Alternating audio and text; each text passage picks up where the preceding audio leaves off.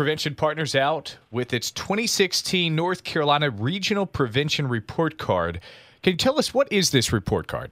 This year, Prevention Partners released the regional report card with a variety of new partners who are interested in looking at the connection between health and the communities in which we live. So we looked at a variety of factors and we organized the data by North Carolina's eight prosperity zones or economic development regions.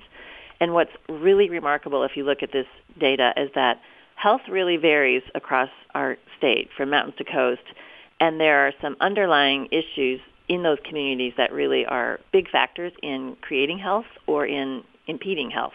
And so we took a look at what makes a difference in health so that people can think about all the things that they can do to help us all be healthier. So it's a fascinating look at some new data, and it's a new look within regions across our state. What is it that leads to the disparity on health, especially depending on where we live or what region of North Carolina we're in? If you click on our website, you'll see a very detailed view, which is a fun thing to do, is go look at the data. But we took a look at broader socioeconomic issues like high school graduation rate, unemployment rate. We also looked at more environmental issues like did people report having access to exercise opportunities or did they have access to affordable and healthy foods?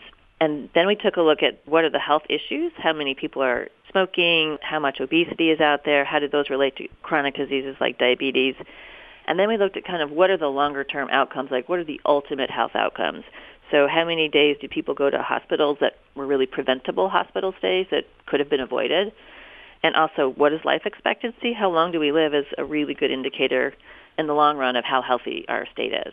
And so all of those different layers feed into health. But what was really surprising, I think, to everybody, even health experts, was that something as simple as being able to have access to physical activity opportunities and having access to healthy, affordable foods were the two most changeable factors on that whole list I just shared, and they had the strongest predictor of having longest life expectancy and the fewest preventable hospital stays.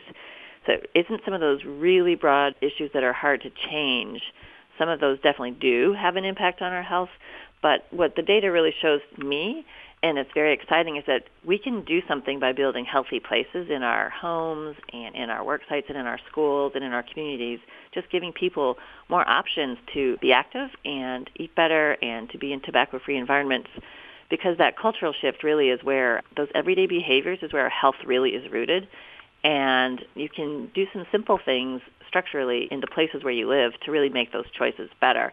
So there's some big disparities which are unfortunate but the good news is that there's some very simple and clear things that people can do to build healthy places.